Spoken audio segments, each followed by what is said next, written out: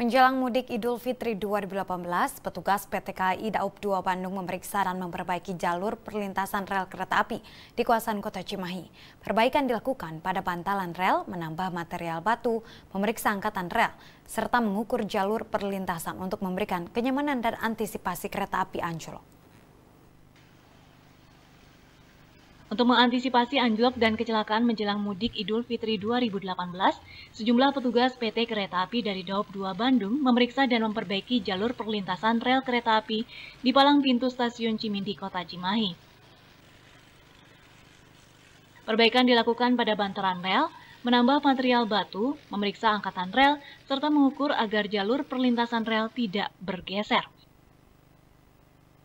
Menurut Kepala Humas PT KAI Daup 2 Bandung, Joni Martinus, untuk memberi rasa nyaman dan aman jelang mudik Idul Fitri, PT KAI Daup 2 Bandung akan menambah petugas pemeriksa jalan untuk menambah pemeriksaan rel kereta api. Di jalur rel ditambah 60 orang penjaga pintu perlintasan yang menyebar di sejumlah titik rawan.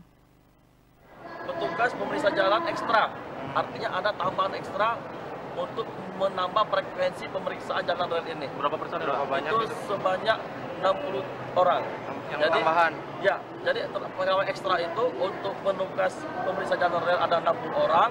Kemudian untuk penjaga perlintasan kita tambah lagi 63 orang. Di kawasan Jawa Barat yang dilalui kereta api, sedikitnya 47 titik rawan banjir, longsor, dan kecelakaan karena anjlok. Algi Muhammad Gifari, Bandung TV.